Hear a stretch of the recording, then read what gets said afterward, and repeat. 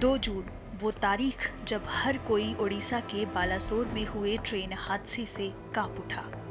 हादसे में घायल हुए लोगों का इलाज अलग अलग अस्पताल में चल रहा है। वहीं मृतकों की संख्या भी काफ़ी ज़्यादा है। किसी ने अपना बेटा खोया तो किसी ने पति तो किसी ने अपनी पत्नी और बच्चा। तमाम लोगों ने अपने करीबियों को खोया। ट्रेन हादसे के दौरान क्या मंजर था, ये एनडीआरएफ के एक कर्मचारी ने बयां किया है। जो छुट्टी लेकर कोरोमंडल ट्रेन से अपने घर, अपने परिवार के पास जा रहा था। उन्होंने हादसे के दौरान का पूरा हाल बयां किया है। साथ ही बताया कि एक्सीडेंट का पता चलते ही उन्होंने इसकी खबर अपने सुपीरियर को दी, जिन्होंने स्थानीय एनडीआरएफ को तुरंत सूचना दी। मैं दो तारीख कोरमंडल एक्सप्रेस में ए सी थ्री टेयर में टिकट बुक करा के दिया मैं उधर से हेडक्वार्टर से मूवमेंट और लेके बारह बजे निकाला, दो तारीख शुक्रवार के दिन। बारह बजे निकाल के आया मैं उधर से हेडक्वार्टर से। तकरीबन बारह बजे निकाला। बारह बजे से तीन बजे आके, साढ़े तीन बजे का गाड़ी है, तीन बीस पर। आखिर स्टेशन में, Shalimar station to Chennai central तक कोरमंडल में मेरा टिकट रिजर्वेशन है। तीन बीस पर गाड़ी में बैठा हूँ मैं। तीन बीस में गाड़ी में आके पकड़ा, तीन बीस में बैठा, तीन बीस से शुरू किया। शुरू करते तीन घंटा सफ़र हुआ। तीन घंटा में एक्सीडेंट हो गया। कहाँ पहले स्टॉपेज रुका था खटकपुर में, साढ़े पाँच बजे के आसपास। उसके बाद वहाँ से मार्च हुआ, बालासुर बालासुर पहुँचा था, छः पंद्रह, छः बीस तक पहुँचा। छः बीस में बालासुर में दस पंद्रह मिनट का स्टॉपेज था।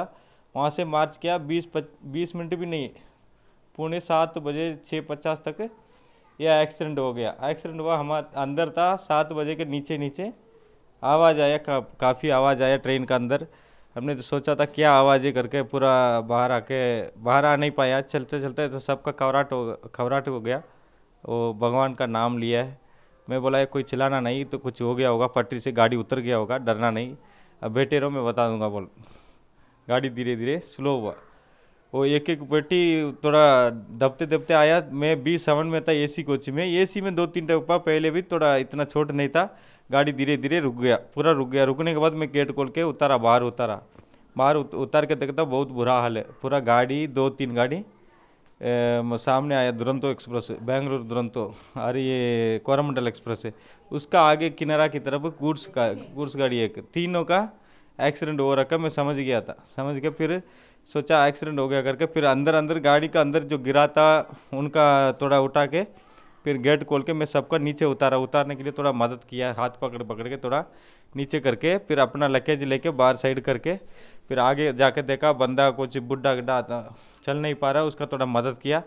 मदद करते, उससे पहले मैं अपना second N D R F S M साहब को, सूबेदार मेजर उनका खबर दे दिया, मैं ऐसी ऐसी हो गया, मैं वेंकटेश बोल रहा हूँ, मैं गाड़ी में आया, जो हमारे कोरमंडल एक्सप्रेस है एक्सीडेंट हो गया करके। फिर हमारा एस एम साहब आगे की कार्रवाई करके, जो जिसका बताना था बता के, फिर उड़ीसा में एक एन था, नज़दीक नज़दीक में, उनका खबर दिया। वो आने हुआ एक एक घंटा लगा। एक घंटा तक मैं अपना काम करते रहा और कहीं कहीं मेरे को फ़ोन आते रहा बीच बीच में, न्यूज़ वाला फ़ोन किया। मेरे, मेरा नंबर पता नहीं कहाँ से पहुँचा, लेकिन मेरा मोबाइल में कॉल आते रहा।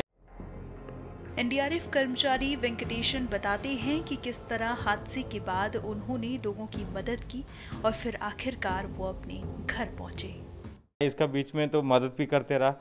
दस पंद्रह मिनट में बहुत सारा लोग, सिविल लोग पूरा आ गया अंदर। सिविल लोग अपना काम करने लगा।